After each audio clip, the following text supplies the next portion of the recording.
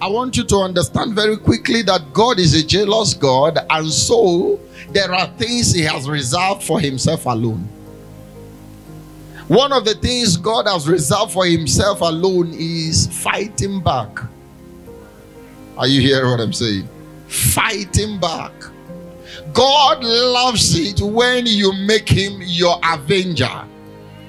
God loves it when you allow Him to fight back for you. It is a kind of worship to Him. It makes Him feel like you acknowledge who He is in your life.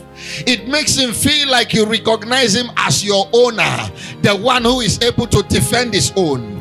Are you hearing what I'm saying? The one who is able to safeguard his, his inheritance, the one who is able to defend his inheritance, to defend the one that he supports. I want you to understand that it gives God pleasure to fight for you, it gives him joy to defend you. It gives him pleasure to deal with whatever was looking for you. Are you hearing me, somebody? Now, with that understanding, what I want you to know or go home with tonight is to decide, make up your mind from today, never to avenge yourself.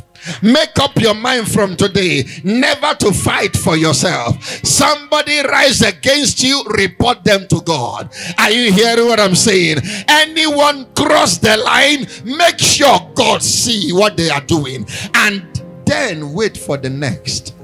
The next answer is usually brutal.